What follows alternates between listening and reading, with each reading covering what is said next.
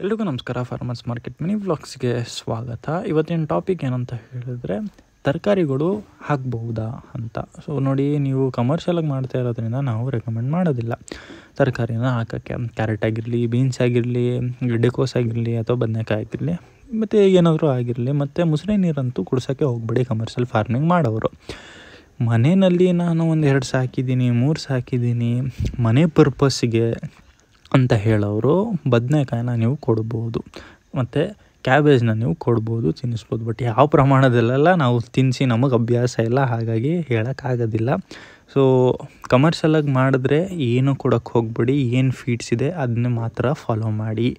ಮನೇಲಿ ಸಾಕಿದ್ರೆ ಕೊಡ್ಕೊಳ್ಳಿ, ಅದು ನಿಮ್ಮ ಇಷ್ಟ ಇವಾಗ ನಾನು ಇಲ್ಲಿಗೆ ಮುಗಿಸ್ತೀನಿ. ನಾಳೆ ಸಿಗ್ತೀನಿ. ಅಲ್ಲಿವರೆಗೂ ಬಾಯ್